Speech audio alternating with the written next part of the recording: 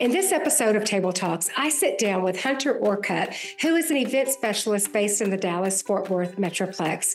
I can't wait for you to hear her incredible story, how she started her own business, and also God's faithfulness in her life through every season. Also, hear how her marriage was beautifully restored and how God brought everything together in ways she could never imagine. This is a great episode. I can't wait for you to hear it. So, hey, Hunter, I'm so glad to have you with me today. We have Hunter Orcutt. Honestly, I was reading your bio. I Googled you because I've known you for about 10 years, but I Googled to see what they said. But truly, you are one of the most sought after event planners in the DFW area and actually in the, in the whole, I mean, you're what you do has spread all over the country. So, I mean, yeah. you are really, really good at what you do. And I love looking I just follow you and kind of stalk on your event Instagram page and just go through and kind of sigh and think, oh, I want her. I've already asked her if she'd do my 60th birthday. But anyway, we'll see. But I'm so glad to have you today. And like I just mentioned, we met, um, I, I think 10 or maybe if, right around 10 years ago. Yeah you guys were in Albuquerque doing a ministry event, and right away someone said, oh, "Okay, you're going to love her," and I didn't couldn't understand why. I mean, I, I do love you, but why? mutual, huge love in her life. I mean, probably the top under Jesus. Um, yeah. We both love Alabama football. Roll Tide. Yeah. And Roll Tide. Mm-hmm. We we just it's crazy, and um, I don't. Why do you like? I don't. I'm from Alabama originally, and I can't remember why you became an Alabama fan. So yeah. So my mom, I was born in Tuscaloosa, right across the street from the stadium. And so um, I, it, runs deep in my heart. My mom is a huge Bama fan. And so I grew up in Arkansas, but you could not get me over to the Woo Pig side. It is Alabama through and through. And you can't do it. At least I'm in New Mexico and we're not University of New Mexico is not in the SEC. So, I mean, mm-hmm. I can cheer for them some, but I'm an SEC girl and Alabama, it's our favorite time of the year because it's a football season. But we, this yeah. is really cool. So, um, Hunter was just at um, our Flourish conference just um, a few weeks ago here in yeah. Albuquerque. And we had already planned to be together and do this podcast, but I got to see firsthand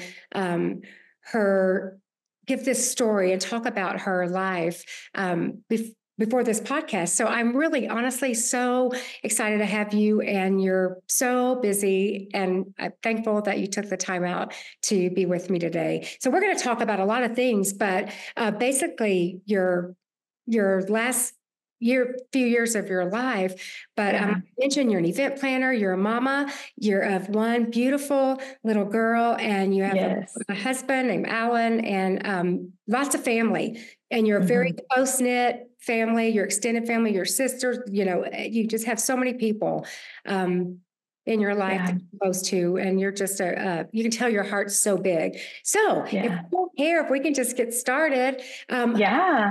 I, I, just love, you know, hearing you talk about born and where you moved. And so give us just yeah. a bit of history about um, like how you were raised.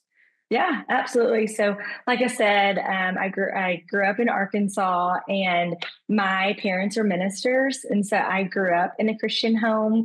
Um, and I would say um, my dad's an evangelist, and so that just old school, you know, church on Sunday morning, Sunday night, Monday night, Tuesday night, and even Wednesday. So it it was a really unique way to grow up. I'm very thankful for my my roots um, in our faith. But I grew up in Arkansas. I grew up um, as a cheerleader, and we loved football. And then I moved to Dallas for college. I went to Southwestern University. I got my elementary ed degree.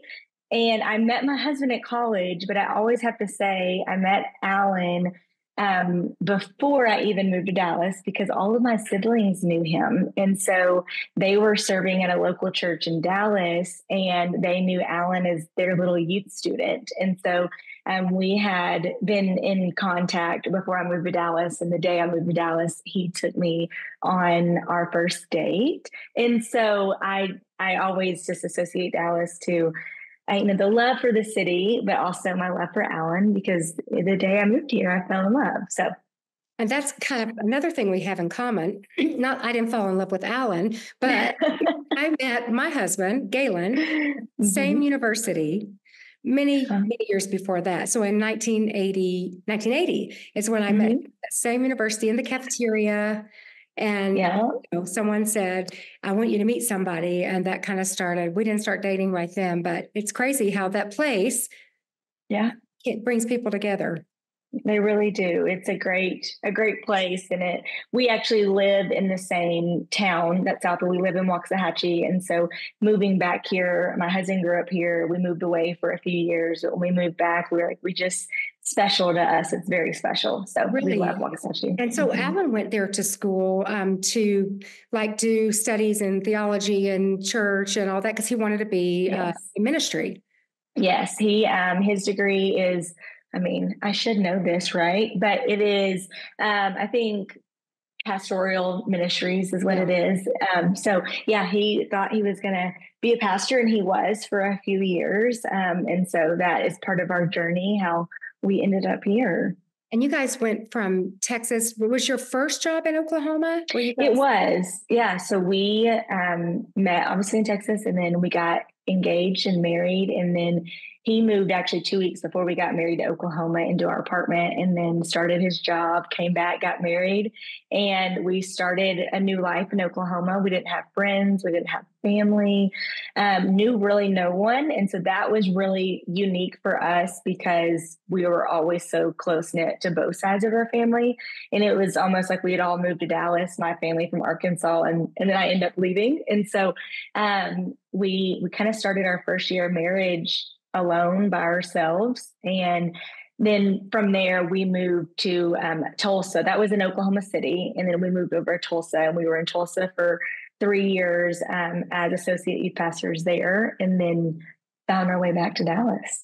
So when you guys, um, we're going to just get to the because every this yeah. is you know everyone has a story. You know, you mm-hmm. look at people, and I know you feel the same way. You scroll through people's social media, and it looks like it, everything is perfect about their life. And you spend 10 minutes with someone and quickly find out that all of us have been on a journey through something um, one mm-hmm. way or another there's no one's life that gets from you know one part of your life to the middle or the end of your life and you haven't gone through hills and and valleys and mountaintops and the lowest of lows and it sounded like you were um, you know then i'm not sure what year that was you've you've told me but was it like um so it was about 10 years ago. How long have y'all been yeah, married? it was, um, we've been married right over 10 years. And that was, oh gosh, seven years ago. Okay.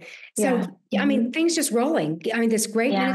position. You were working for, um, you said associate youth pastor, but you had great ministry friends at that church mm-hmm. that your mentors were just there. You had support. And then, um, I mean, there, I, I'm I believe this is true. There wasn't like one specific thing that happened in your life right. start um, this downward kind of spiral for your marriage and ministry and all that. And we're going to cut this. We, um, if people haven't watched the the commercial for this, they may not know that. I mean, you you and Alan's marriage went through a really rough time. Mm-hmm. Um, Alan uh, started dabbling in alcohol and be, you know yeah. addicted. So can we just cut there real quick? And because there's yeah. so me to the story. It's such a hopeful story. So don't yeah. pick this off if you think this is a sad tale because it's it's really there is some sadness and there's, yeah. there's things you had to go through, but it's a great story of redemption and God's yeah. in our life. So so stay with us because I want them to to hear all you have to say. So I think my biggest mm-hmm. question was, did you notice now that you look back? Could you mm-hmm. see little things off with him? Did you notice anything at first? I mean, what was happening? Yeah, I think that it was such a slow process that there was not necessarily one thing that made me feel off or question it. Um, I will say, to give a little bit more context, we we're both 21. We were both at churches, um, but we would have um, a drink, a glass of wine, a margarita here and there. It wasn't really anything that we had in our home um, often. And then um, just over time, it became you know, two days a week or three days a week or multiple a night. And it was for both of us. And then I think what really triggered everything was when I got pregnant. And so that's always kind of the the before and after for me because I stopped drinking and realized, oh wow, like he's drinking a lot. He's doing that a lot. He's um just it felt this really unique like off. I don't know how to explain it. I was very off on it. And so I then started this process of like, okay, like let's not drink tonight. I don't feel good. Why do you have to do that? Um, maybe only do that on Tuesdays for Taco Tuesday night, you know, things like that. And then as my pregnancy began um, to go further along, I started having to like mark alcohol bottles. How much are you drinking? Um, and so by the time I had my daughter, our daughter, it was something that had escalated. So that was about nine months of, whoa, this is something that I had no idea I was I was about to get into at all. Um, I think I've I stated it at the conference. You know, my biological dad is or was an alcoholic, and my mom was kind of faced with with a choice when I was, you know, a baby of either you're going to be married to an alcoholic or um, you're going to have to walk away and you know lose your marriage. And that was a decision that had to be made. And so i am fully aware of addiction and how it can traumatize and really destroy lives. And so i'll say that i never thought i would be in that situation because I did the opposite. I went to Bible college. I married a pastor. I was doing all of these things that, oh, I'm going to do the complete, and here I am, 23, pregnant, literally in the same situation. And so um, it, I started having conversations with people that were really close to us, um, specifically um, a couple that was actually our oversight. And so we talked to them and they kind of gave Alan ultimatums as well of like, if you don't get this under control, I'll, fire you and go work at Home Depot. You know, and I'm thinking, oh, he'll never get fired from ministry. Like that's no way. Um, and we came to this crossroad right after I had my daughter and we ended up moving back to Dallas. So there was a lot of changing in the upper staff. And so we ended up coming back and we moved in with my parents. And I thought, oh, he'll definitely stop drinking, you know, in my parents' house. and question. So, yeah. Um, just real quick. I'm thinking yes. how quickly, because I know what I mean, you said that was like over a period of you know months and months where you're pregnant yeah. with your daughter you know the first thing you said you uh, you might not have noticed had you not gotten pregnant decided mm-hmm. i'm gonna yeah. i'm gonna stop and then that opens your eyes because you know you kind of would think um, that i know you were very intentional i'm not gonna so i'm gonna do everything opposite because right. that's what my mom not that you you you very close to your mom but you right. she was probably saying to you watch for this and marry a christian mm-hmm. and and all and so you checked all the boxes and alan loved the lord he grew right. up in a great home it's not that you went off to college and you know looked for the the wild guy he you right loving jesus and serving god and doing all the right things but it's it's truly what happens to all of us, it can happen at any given time. We get mm-hmm. on a slippery slope, and the person that's on the slope never knows they're on the slope.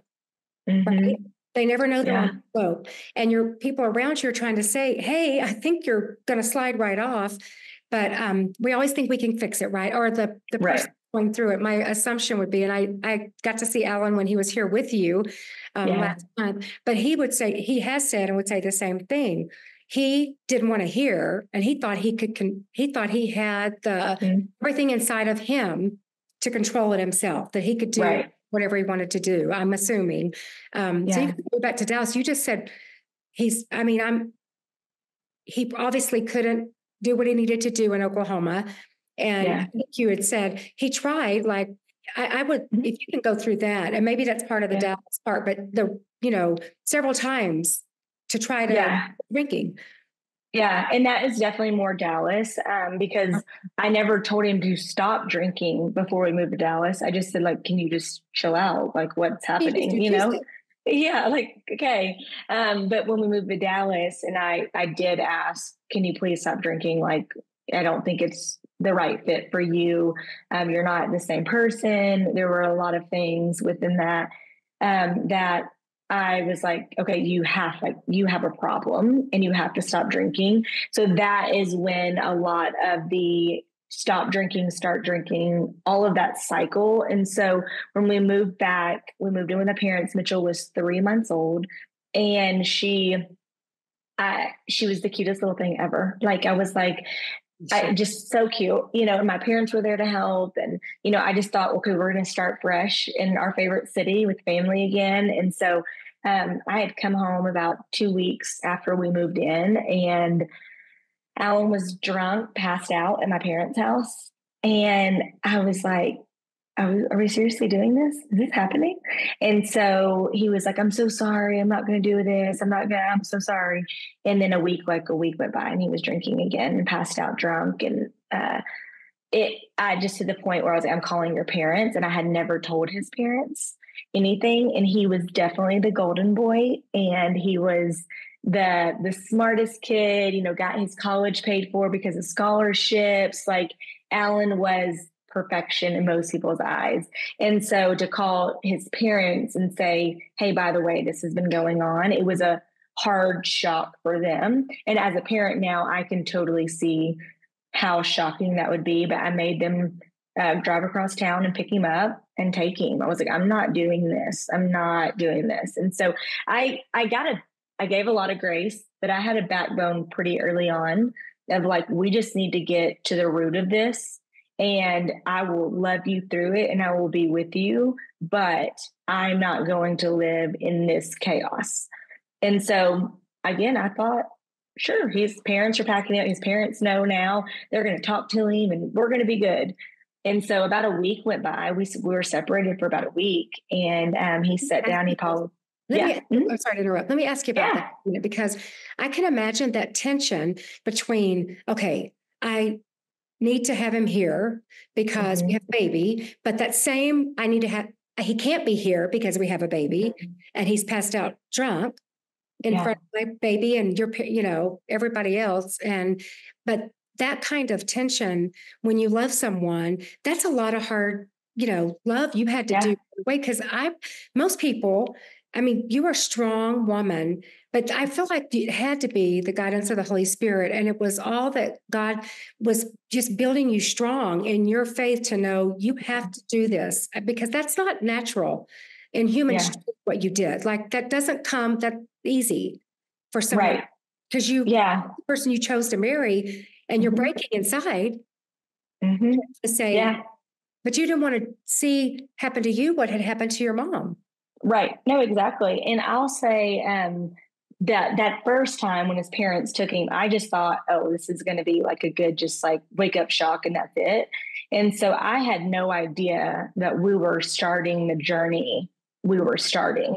So I would say God gave me just enough strength for that and continued to give me the strength um, because at the beginning I had no idea what was going to unfold. And had I known that, I mean, I would have been crumbled in my bed with tears and just been like, forget it. I'll just let him be an alcoholic. You know what I mean? And so um, God truly guided me and walked with me daily and gave me the right amount of grace and strength throughout each and every day. And that just foundation continued to build to know that, like, I am fighting for my marriage, I'm fighting for my daughter's dad, I'm fighting for Alan and his life and his future. And um, I think I was just truly immersed in that. And that is what part of what got me to to where we are today. But um, I will say that when he came back, I really did think he was done drinking after that week. Um, he apologized to my family, my parents setting him down. Um, and so, about two weeks, and Alan's cycle was about two weeks of sobriety. And so, um, he would be on the cycle of, We're good. I'm so sorry. I won't drink again. And two weeks would go by, and he almost kind of get settled in again and he'd start drinking again and there was there were so many ways i knew from the speech the non-responsive to text messages to seeing it in his eyes his body language um, and it would just like crush me you know of like are you are you seriously doing this again from the respect to like the love to like the selfishness. It was like, are you really? And so after that, after that, I kicked him out again. And I was like, I can't keep doing this. Like, it's not beneficial for anyone. And I was like, you need to go live with your parents. And so that started separation, and our separation was for 15 months. Mm. And so I could pause there and be like, there was a lot that happened and we're back together. But I think it's important for people to see how um, it escalated and just ways to deal with someone with addiction and I know that everyone's walk is different and addiction and different types of addiction definitely um like there're just so many ways to handle it. And so, although it worked for me, it might not work for other people. And I'm fully aware that people's marriage or relationship with their sibling might not turn out like mine. Um, I think I had given the statistic 97% of alcoholics relapse within the first year. And it's what they do with that year after of relapsing. What are they going to do with it? And I think it's like 80% of alcoholics, you know, end up staying an alcoholic. And so there's a small margin of um, people that actually get sober. And so I don't ever want to give false hope to people because I never want 10 years down the road someone to be in the same abusive, um, toxic relationship. But I also know that this is hope for people that if you do set the right boundaries and you do have clear communication, that that is going to give you a fighting chance to have an incredible marriage or relationship with someone that you love. So, did someone, I mean, did, did those boundaries just come to you? Did, like, were you seeing a therapist? Did your family help you? I mean, you you set them clearly once you got yeah. to the place where you realized there's a cycle now. Yeah, this is his pattern. So how how did you decide what worked for you? Because there may be people that they're like you said that that doesn't work for them, but some way you have to come up with what's the plan. Yeah. Um, yeah, I think a plan's great. So once I kicked out Alan and it was like, you're we're not gonna live together until you're sober and sober on my terms, which a lot of addicts do not like that. Um, the boundaries or the ultimatums. And that is kind of a telltale if you start putting those ultimatums on people. They maybe you think are an addict or maybe they're not, you're not for sure. If you start saying no to this or you have to do this and they start going in the complete opposite way, that can give you kind of a clear sign of someone struggling with something. But I did see a Christian counselor, which I highly recommend whether you're going through trauma or not, or you've had past trauma or not, to just talk to someone that can give you guidance of just daily. I talk to my counselor now and I'm like, my house is a wreck. What do I do? She's like, turn on your worship and start praying while you're cleaning. That'll change your mindset, you know? So um, I just think it's good for anyone and everyone. And there are certain ways for people to um, go through counseling if, if finances, you know, from a church or their, you know, price reduction. So I think there is ways for almost anyone to get in with a Christian counselor. But that was a big thing for me. I will say I leaned heavily on my family because we are in ministry, but also my mom specifically had walked through this. And so I really leaned on them. Um, and I am aware people don't have family for that. And so um, I leaned on a lot of friends that had dealt with this with family members. But after kicking him out, I just thought, it, I just never knew what was going to happen. Like, I just truly was like, it's Alan. Like, what is he doing? It's going to be like, he never had like a wild streak. So I'm like, great, I'm living that out with him. Awesome, cool, you know. Um, but I just did not think it was going to be what it was. And one of the first things that happened that escalated was he got a DUI and he was arrested and booked. And when I got the call from his dad, I was like, what? What what do you tell? Like he was drinking and driving. And then on top of it, he had a mom with like three or four kids in the car. And he crossed five lanes of traffic trying to turn. And I just think about that day and even as hard as it was, how God was protecting us because it could have gone so many different ways. You know, I get very emotional talking about that. So, um, that I thought was going to be it. I was like, oh, he's definitely going to get sober now. I thought that was his rock bottom. It wasn't. And I'll pause there. Do you have questions as I'm talking? well, I, I, I mean, I'm just, I can picture this. I'm reliving it, you know, yeah. with you and, and just this, this, there are some things you do as a person, mistakes you make that have life altering consequences mm-hmm. that, that you wouldn't be sitting here today talking to me about this story had that that driving under the influence gone e- any other right. way you wouldn't have been right. able to sending and yeah. that's that's just uh, i know you know because that's what you you know do but god's grace and i yeah. so you're at this part of your life where i mean you're you had to be thinking how are you going to survive as a single mom while you're separated from him. Mm-hmm. So he's he's living with his parents and he's still not. So we'll we'll go back to that in a minute. But yeah. you had to, I mean, you had to live and right. figure out. I'll just start this event planning business, or is that how, how did it start?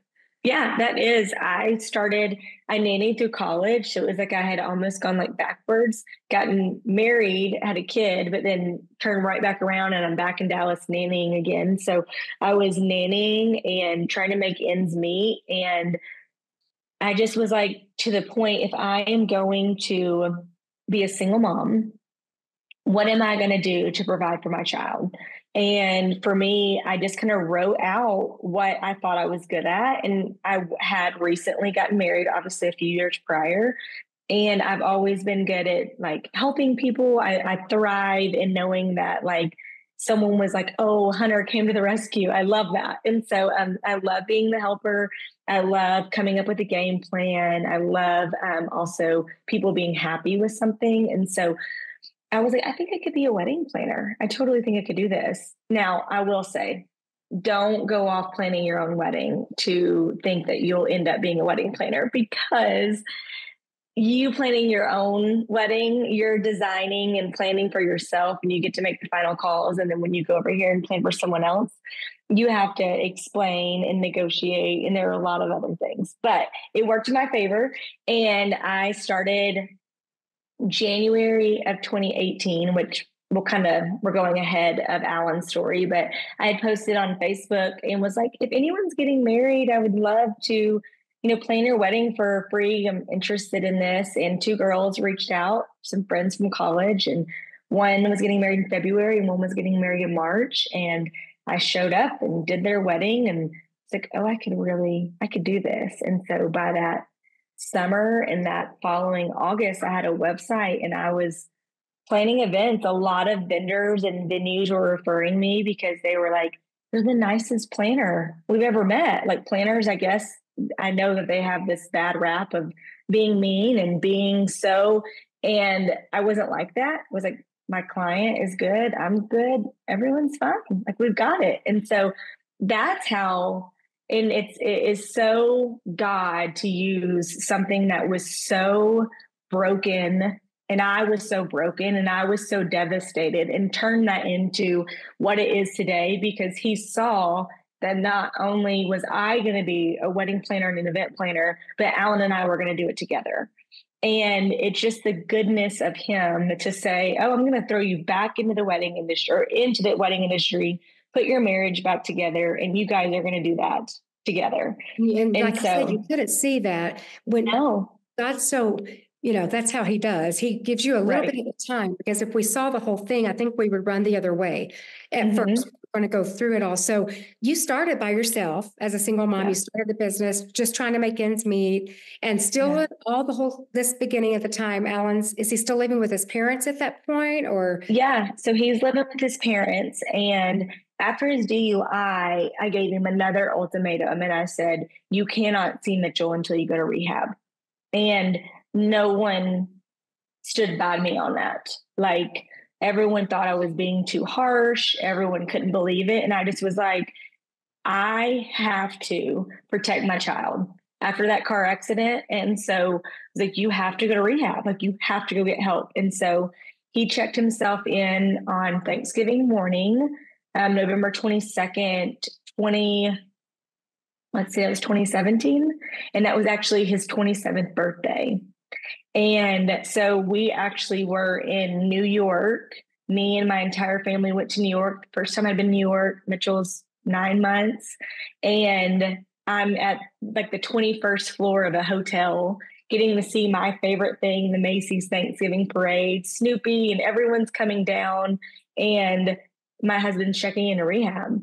Like, like what's my life? Like it's supposed to be so incredible, and everyone would dream to be where I'm at right now. And I'm breaking inside because my husband made a horrible decision and I had to be the bad guy essentially. But I knew that I had to stay firm. And that's another one that is very emotional for me because it's like his decision truly like ruined so many moments for a season and God's restored that mm-hmm. 10 times, you know, but it was a season of of brokenness and frustration and anger because you're choosing to like be selfish and love yourself more than us. And so he went off to rehab and he was there for 30 days.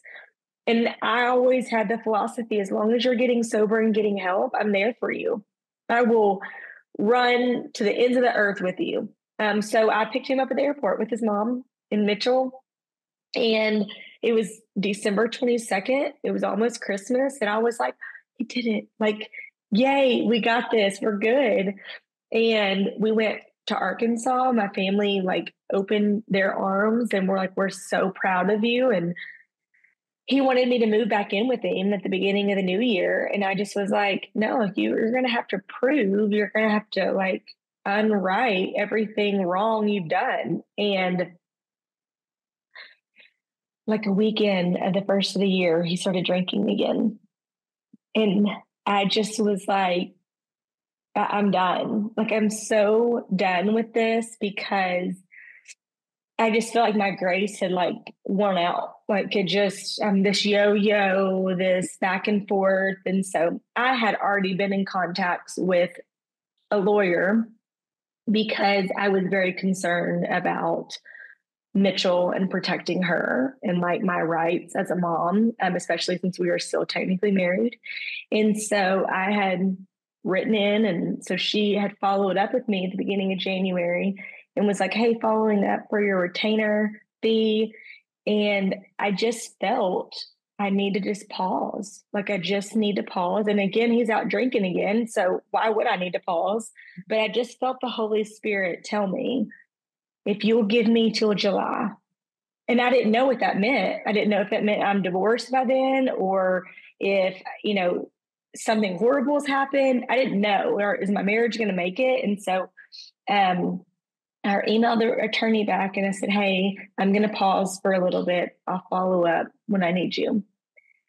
I had no idea what was about to happen. And so um, it, was a, it was a few weeks, and I get a call. Alan had been working at a bank, and I get a call from that morning from his sister that um, he showed up to work at 10:30 in the morning drunk, and um, they were they were needing him to get off the property.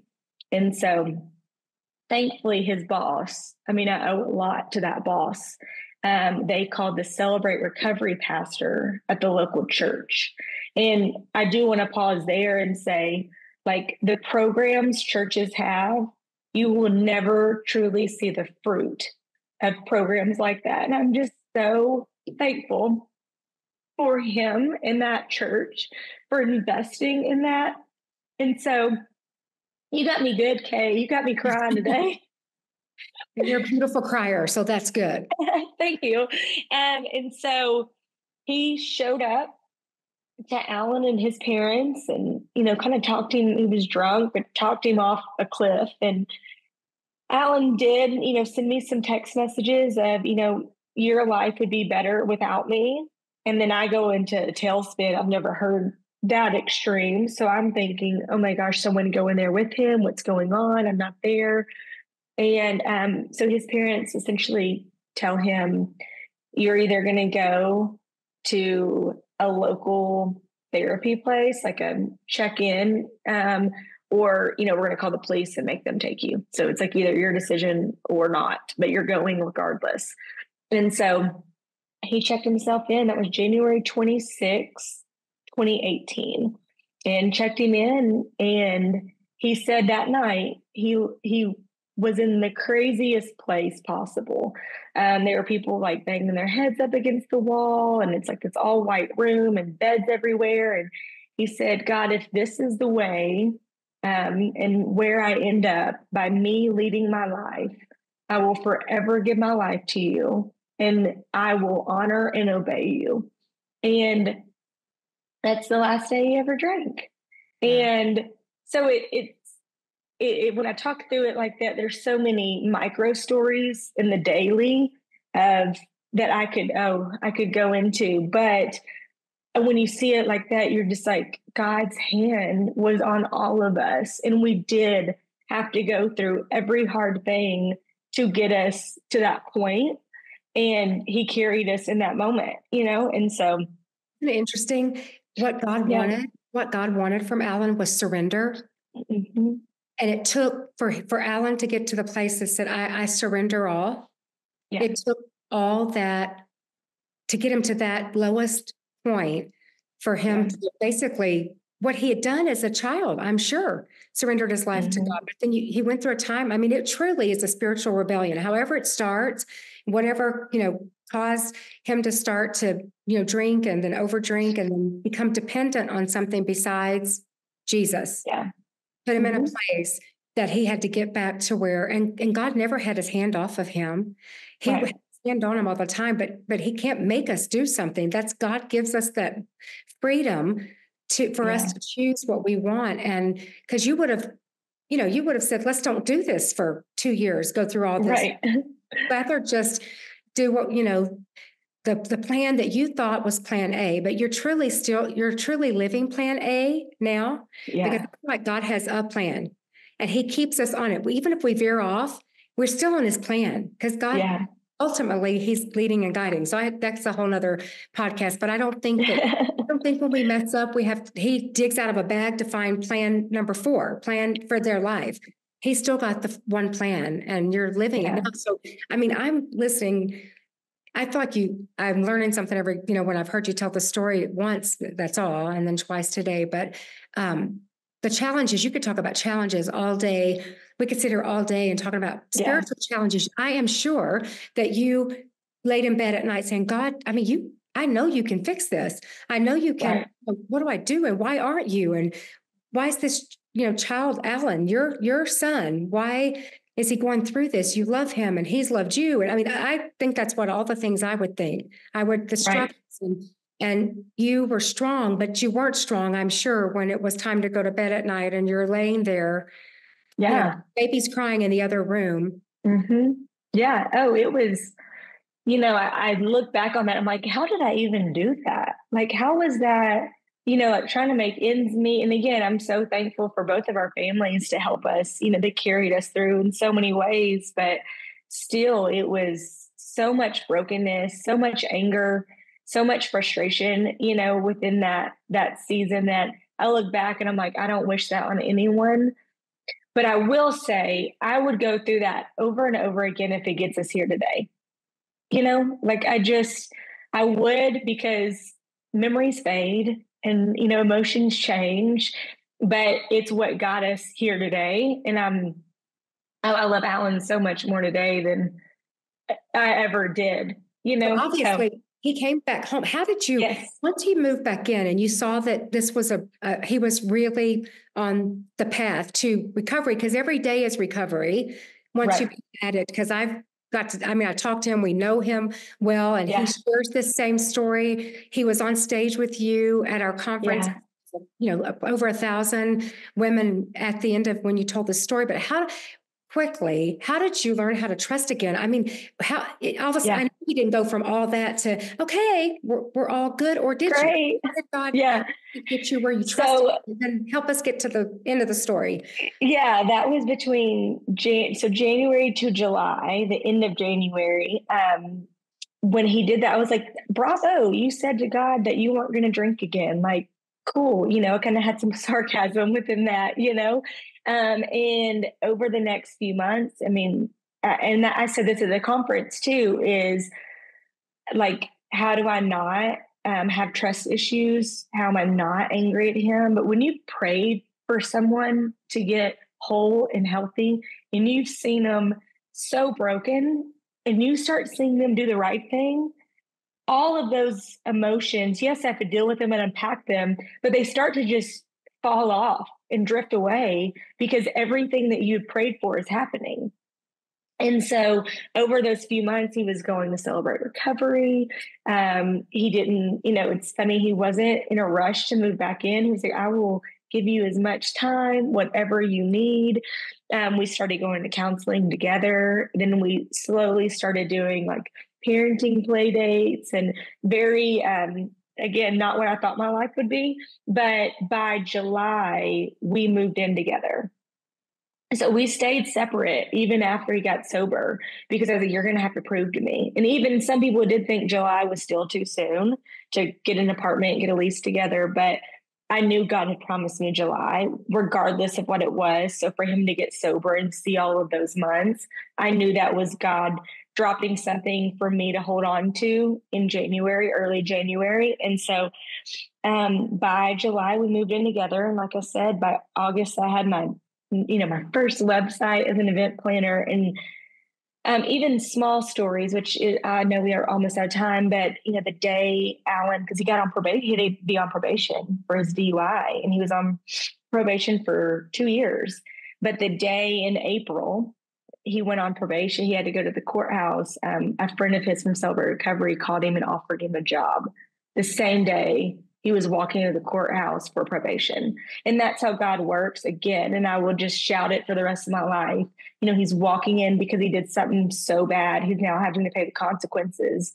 But God gave him something to, to rely on, a corporate job that he worked for years and was so great to us in a season of we ended up getting out of debt and we had like $45,000 of debt and just this journey of wow like god you truly had us at all times and at every moment you were there to in the bad news give us good news. And so um that's how we got got back together I love. Um, we were sitting at dinner with you guys at Flourish Conference one evening, and and Alan was sharing. So now he's a part of the company. You guys are together. You know, you're yes. the you're you are you know obviously you're Hunter Orcutt, but he's in this business with you, and I love that he shared. He you do many many weddings, but also big corporate events and all these events. But on the wedding side, he officiates. Some yeah. of the, so a lot of them he does counseling for couples I mean, yeah. premarital counseling. So, what was the worst thing that could happen to you guys? God mm-hmm. is now using that to help yeah. couples and bless other people. And there, you guys have vision for the the future. I mean, mm-hmm. you know, I, you have an amazing um, business. We saw you on our stage speaking and telling this story, and you have such a you you are a kind person, which people notice that in your business. But you have such I can feel a passion for um, you know wanting this not to be a wasted time. It, it wasn't wasted because for even you, right. but you don't want to have gone through all that and not have others be able right. to benefit from it or to know that there's people that will you know walk with them through a journey and so god's put you in a place that all your you know half of what you do or a third of what you do is working with couples that are about to get right married.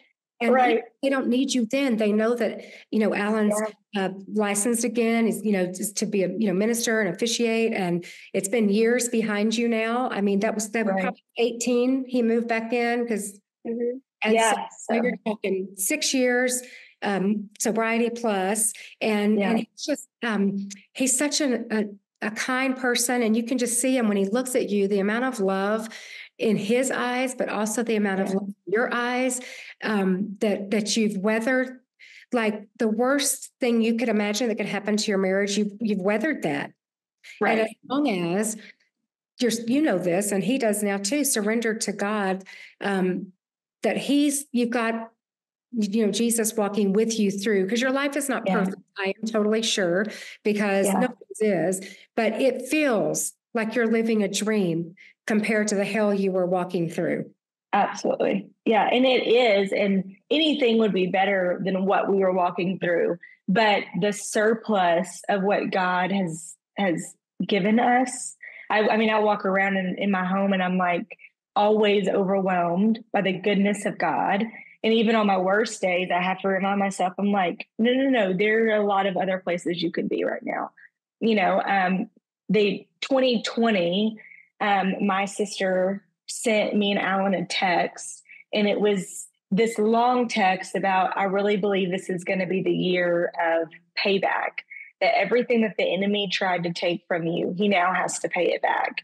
And that year, we built our home, we became debt free. We made an event company last through COVID. Um, and so we have a large painting that was in our first home that we built and in the new house that we just bought. Um, it says payback. It's a really pretty art and it's payback. And I walk by that all the time and I'm like, this is what the enemy tried to take from us and he couldn't.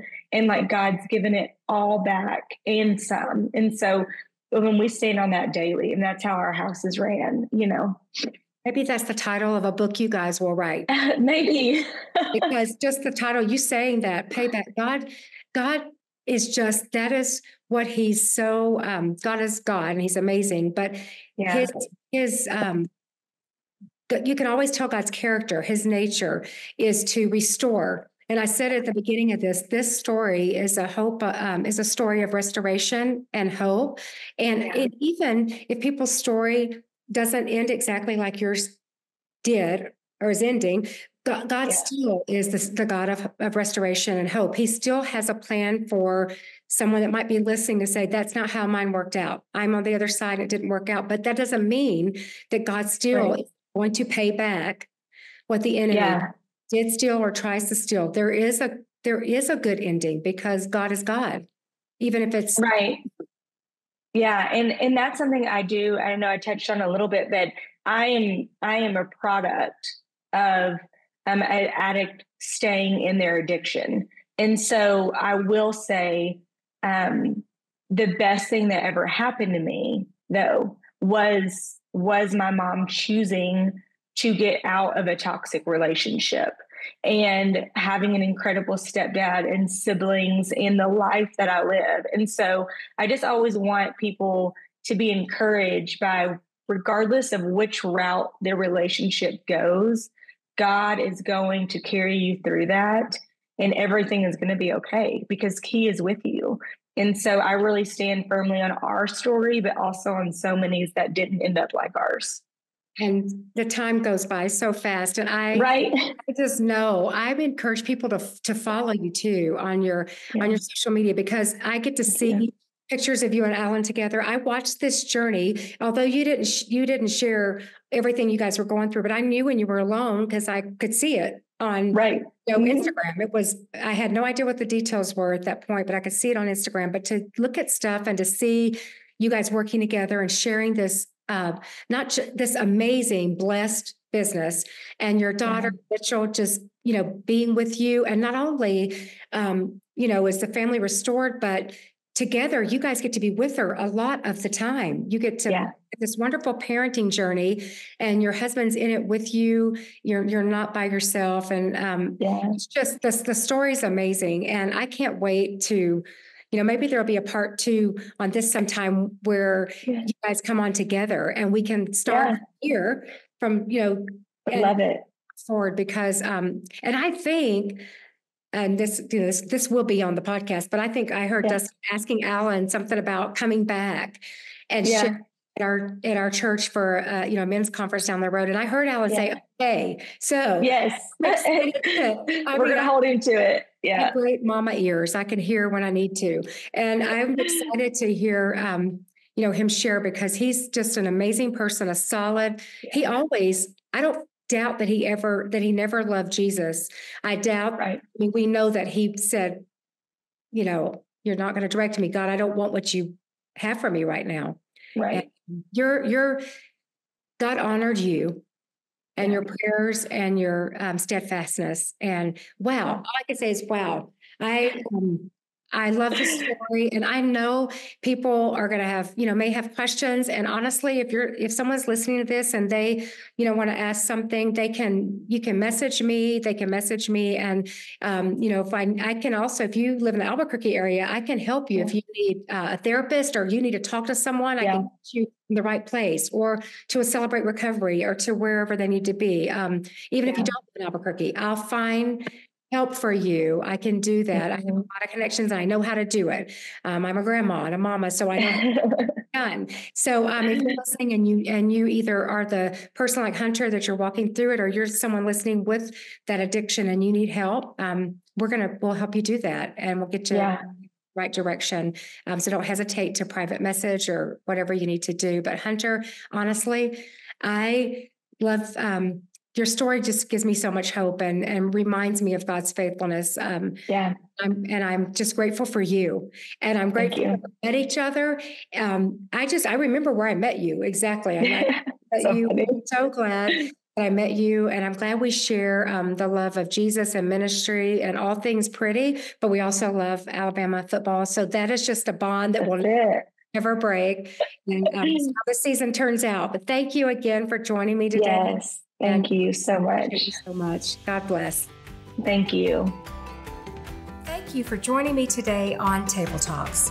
For more content and information about upcoming episodes, please visit my website at kwoodward.com.